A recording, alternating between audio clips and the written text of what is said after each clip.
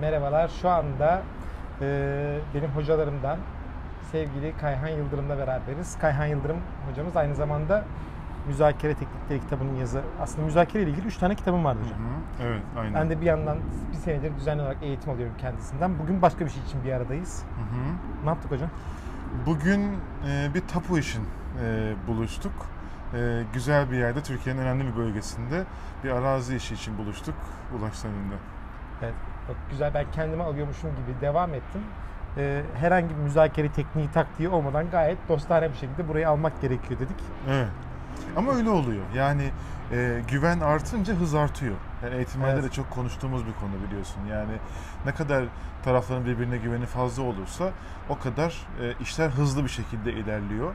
Ama güven düştüğü zaman da bu sefer ikinci kez kontroller, sürekli işte e, insanların birbirlerini e, işte o iyi bir iyi midir, güzel midir, güvenilir bir insan mıdır diye arkasından sürekli olarak sorular soruluyor. Evet. Zaman geçiriyor tabii ki ama güven her şeyi hızlandıran bir şey yani. bu en gerçekten. hızlılardan biri oldu herhalde değil mi? En Bu, hızlı alımın bu, bu çok fazla hızlı oldu evet. Yani bir Apple demiştin telefon alırken Evet. bu kadar hızlı oluyor. Çünkü standart her şey. evet kesinlikle. Güzel var sevindim. Bizde benim için şöyle bir önemi var. Ee, Remax bünyesinde de şu anda Kayhan hocamız da bizim e, Remax Türkiye'nin de ana eğitmenlerinden aslında. Evet.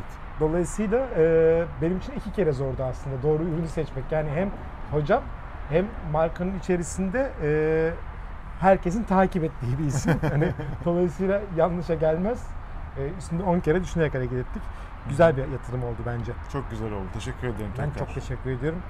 Ee, bu arada Kayhan Hoca'nın e, müzakere eğitimini takip etmeyi unutmayın. Gerçekten benim e, son iki yıldır aldığım eğitimlerdeki en verimli eğitimlerdi muhtemelen. Birçok işlem kapatmama vesile oldu sağ olsun eğitimleri. Ee, ben ilgiyle takip ediyorum. Bence siz de takip edin derim. Kitabını okuyun zaten. Müzakerenin kitabı. Müzakerenin kitabını mutlaka okuyun. Çok teşekkür ederim. Ben teşekkür tekrar hayırlı ederim. uğurlu olsun Ben inşallah. teşekkür ederim.